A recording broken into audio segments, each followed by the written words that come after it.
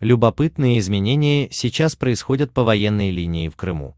Полуостров является одним из самых защищенных регионов Российской Федерации. Здесь дислоцирован армейский корпус, боевая авиация, самые современные средства ПВО, береговые ракетные комплексы, базируется Черноморский флот, имеющий на вооружении крылатые ракеты «Калибр». Но теперь Минобороны РФ демонстративно превращает Крым в непотопляемый десантный корабль, откуда сможет оперативно действовать и в Закавказье, и в Сирии, и даже в соседней Украине. Об грядущих изменениях в структуре воздушно-десантных войск заявил глава военного ведомства Сергей Шойгу. В рамках наращивания боевых возможностей войск в этом году планируется завершить развертывание 3-го десантно-штурмового полка 76-й дивизии в Пскове, к концу года переформировать 56-ю десантно-штурмовую бригаду, в 56-й десантно-штурмовой полк с пунктом постоянного базирования в Феодосии. По идее, десантно-штурмовой полк меньше, чем бригада, но ключевым моментом в данном вопросе является передислоцирование его на постоянной основе из Волгоградской области в Крым. Там, в Феодосии, он усилит уже существующий отдельный 171-й десантно-штурмовой батальон 7-й дивизии ВДВ, созданный в 2017 году.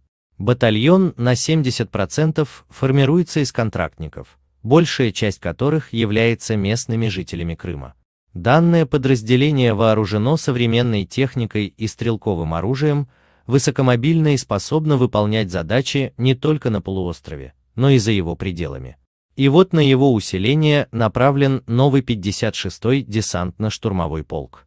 Почему же это так важно? Крым совершенно особое направление у Минобороны РФ, где необходимо иметь силы быстрого реагирования.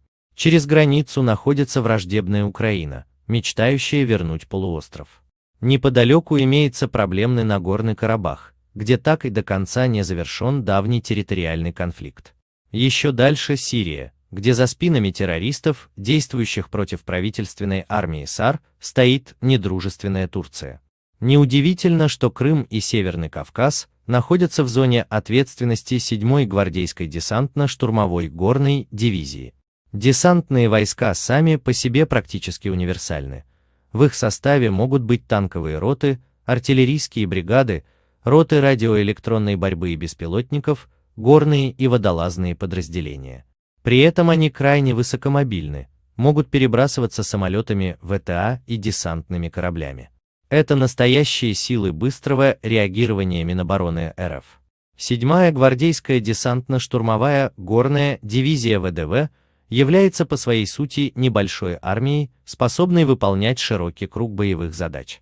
Она была сформирована в 1948 году, ее бойцы воевали в Афганистане, выполняли миротворческую миссию в Абхазии и участвовали в обеих чеченских кампаниях.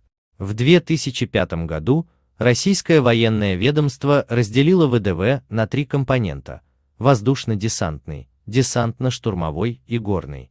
На выделение последнего в самостоятельный повлиял тяжелый опыт ведения боевых действий в афганских и кавказских горах. Седьмая дивизия ВДВ как раз и является горной. К ее бойцам предъявляются самые жесткие требования по физическим кондициям, которые должны обеспечивать возможность выполнять боевые задачи в условиях сложного рельефа и при плохой погоде. Десантники получают самое лучшее вооружение и технику. Благодаря качественной подготовке 7-я гвардейская – это, вероятно, самая боеспособная дивизия в составе российских ВДВ, поэтому в ее зоне ответственности находится самое проблемное направление – Крым и Северный Кавказ.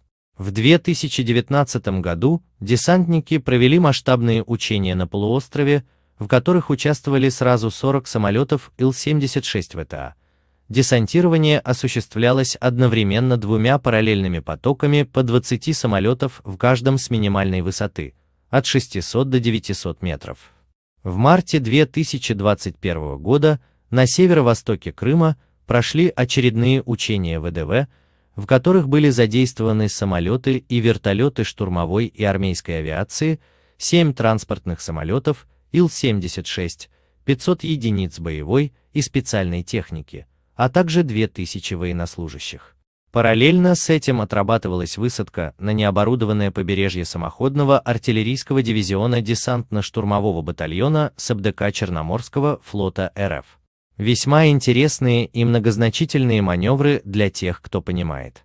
Несомненно, передислокация 56-го десантно-штурмового полка в Феодосию на постоянной основе должно повысить боевые возможности 7-й гвардейской десантно-штурмовой дивизии ВДВ.